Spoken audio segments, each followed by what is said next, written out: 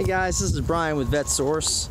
Checking in today. What I got for you is I'm on a little walking tour of one of the smaller salvage yards around town, junkyards, looking for good parts for the Cadillac Allante that we're putting back together again. Just kind of moseying through here to see what I can come up with.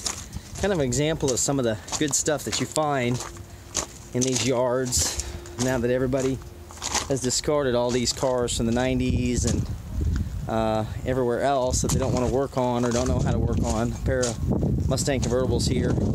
So there's actually a lot of good stuff out here uh, to be acquired if you're kind of a do-it-yourselfer. As you can see, there's cars everywhere that really, some of them have some damage, and some of them don't. Uh, so you can kind of see what we're looking at here. This is an Eldorado. If this is the right year model, this might work.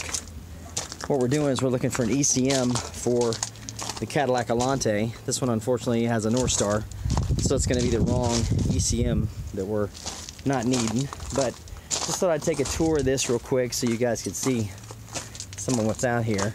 You know, uh, nice Nissan Pathfinder tagged in the front. Nothing too bad, bad enough to put it here, but still got a lot of good stuff on it. So as you can see, this kind of is a wasteland of cars and parts that would otherwise be usable to keep some of these older cars on the road. But most of the time, what we get is a disposable kind of mentality where we just throw cars away when we don't know how to work on them. And a lot of times, I try to inspire people say, look, your car has a lot of life left in it. Don't necessarily throw it away, just keep working on it. So, see back here, Always my favorite. It's a nice, good work truck. Looks like it's been used up pretty good. It's interesting how that mirror just rusted right through. Never really seen that. That looks like it might have been towards the end of its useful life. But yeah, it's uh, an interesting business, this salvage side of things, because all of these, if you look at them, somebody one time paid big money for these. I mean, some cases as much as a house to buy these cars brand new and finance them. And look at them here thrown away like a bunch of discarded broken toys. So you can see it's kind of an interesting situation here. Now of course good news is all these cars are going to get recycled again back into the mix. Oh look there's two Cadillacs right there. And they might have the computer I'm looking for. So let's see this one here is a DeVille this one has the 4.9 port fuel injected motor. This is a, let's see what we got here. And this is a 90 model. So it's one year too early for me. It's a nice square body truck, Chevy truck. For you square body fans, it is a long bed, but it's still a square body with 350 in it. And then over here, we've got another DeVille. This one I think is too new. Let's see, yeah, that's a 98. So it's gonna be a Northstar in that one, so we can't use that one either. So, it's an old Chevy Caprice, Expedition, piles and piles of rims. We'll come back over here. We'll look in our back row with some trucks. There's a Lincoln up here, F-150, Explorers, Taurus, Mercury, F-150 Fords, Lincoln Town Cars, Signature Series at that, which that's always pretty depressing, but there's another one right there.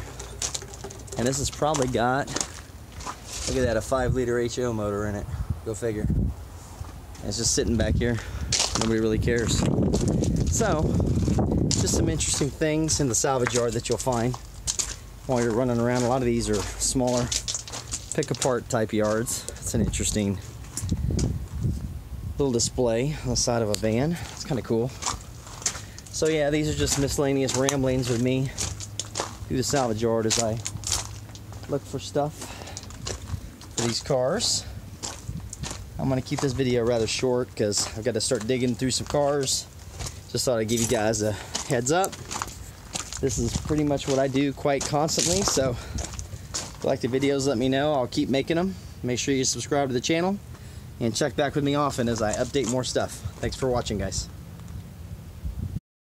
All right, guys, just a quick uh, finish and update to the end of our video here. You've seen me exploring this uh, junkyard, urban decay, and sprawl, diving for a computer for the 92 Allante that we're putting back together. And lo and behold, here we go. Here was a 91 DeVille, uh, sedan DeVille, with the actual correct part number, everything, um, ECM computer that I was looking for for the Allante. Looks like in pretty good shape. Interesting thing, like I was telling you, what's amazing is some of the waste and things that go on in these junkyards, and you see this car really is not in bad shape. Um, but you can look at it and see this thing had a temporary tag on it that expired at the end of July this year. So somehow this car went from being a car that somebody bought to register, and six weeks later, here it is sitting in a scrapyard. So just goes to show you some of the interesting things you can find if you've got the time to dig through these scrap yards and look around. There's so much stuff literally that gets produced. You can always find things and here we are for 10 bucks. I'll walk out of here and get ECM that I need for the uh, Allante. So thanks for tuning in guys again. Appreciate you checking out my videos. Please subscribe so I can make some more for you to show you uh, kind of some of this fun stuff that I do and looking through junk cars and salvage cars and all the good stuff that comes with it. Uh, talk to you soon. Thanks.